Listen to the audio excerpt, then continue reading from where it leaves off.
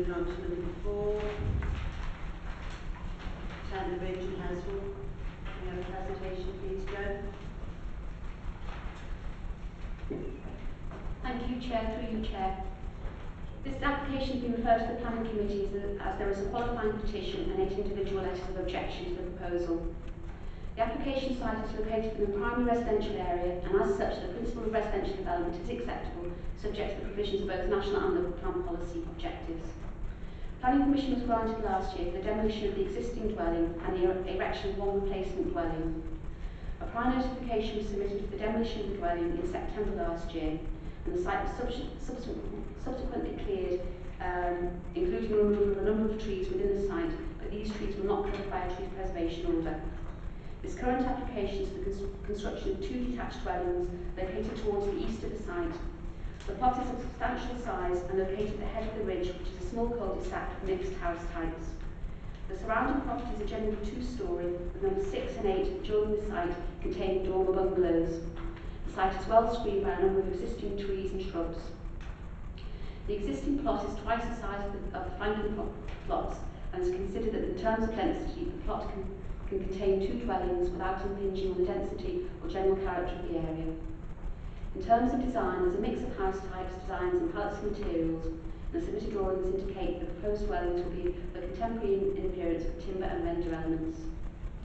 With regards to the objections raised by the residents, the first, the first issue relates to the loss of trees on the site, and as mentioned previously, the trees are not protected by tree preservation order ordered in the conservation area, and therefore no consent is required for their removal.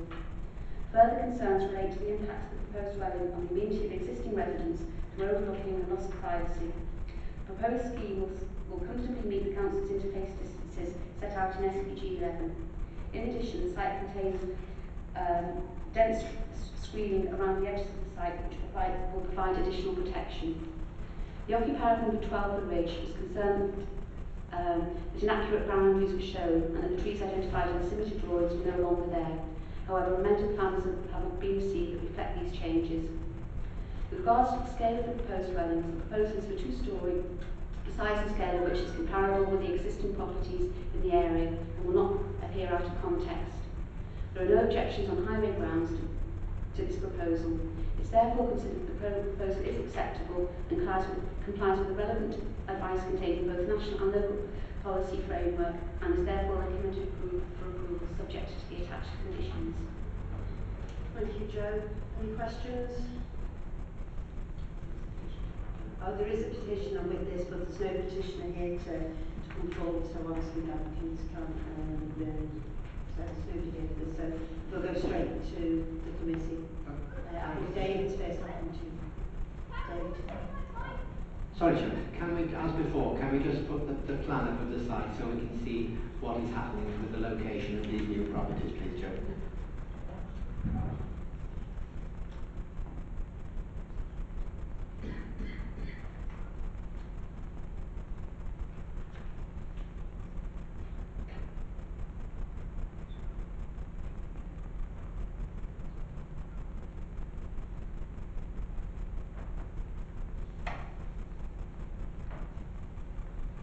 So, as indicated, the two houses are one at the northern end of the site, one at the southern end of the site, and the existing building is being demolished.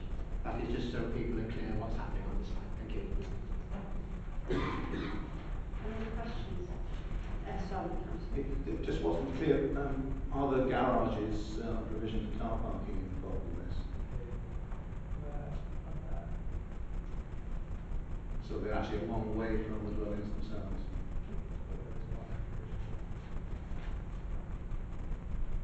Any further questions?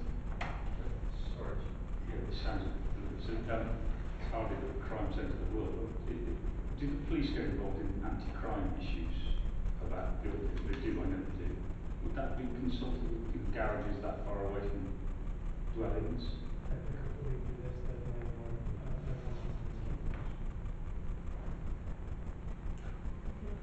No further questions? know, we have uh, the officer's recommendations approval. So we have uh, somebody to uh, move and, and somebody to second. Thank you very much, Bill. So we have a move and a second. All those in favour, please show. Unanimous. Thank you very much.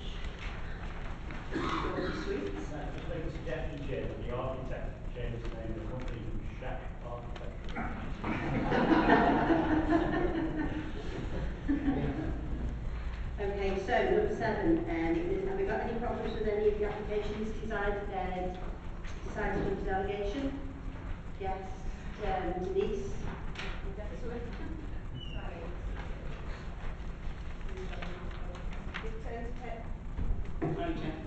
Turn to page thirty-eight, uh, top of the page, Fenton. I'm a bit annoyed actually, eight Clarence Road, Tranmere, um, there seems to be a breach in the neighbourhood development plan that is being negotiated with, with David and with Eddie Planner for this area of not it back into bedsit land. And then we just seem to you know, automatically approved a change of use from ground floor single residential units to two units. I think the, the residents association there are really, really annoyed that they haven't been informed about this. Because they have got a neighbourhood plan, plan going ahead, they're working with David, they're working with Eddie Clement and the team, and then obviously something like this happens, they're really, really annoyed about this. And this was the whole idea of having a neighbourhood development plan so that the people can decide of, you know, actually what goes in the area, and this was not one of the plans when it was uh, decided that, you know, we didn't need any more flats or bed sits in this area. Okay, David, sorry. Okay, good. Could- Could I just clarify, um, this area, when you talk about the neighbourhood development plan, it's part of Devonshire Park? Yes, right. Um, it, it is right that we're working with the residents there on the development of the neighbourhood development plan. Um, that is still going through its um, formative processes and it isn't yet an approved um, document in terms of giving significant weight to uh, planning applications. So the application before you here was determined under delegation uh, in line with the current um, uh, planning policies and proposals that, that are actually in place. And there was no reason that we could see for, um, for refusing this application. I need to come back on this one, Chair. I'm sure it was already decided many years ago. You know the history of Devonshire Park, that they will not be having any more flats in this area.